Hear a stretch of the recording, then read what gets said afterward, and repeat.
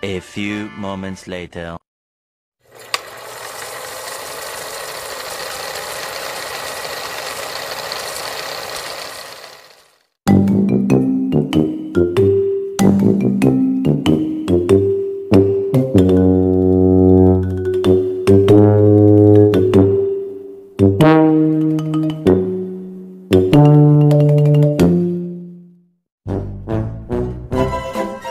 Ni Midas, guys!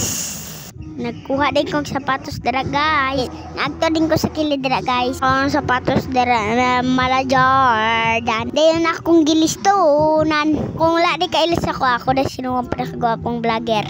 Charot!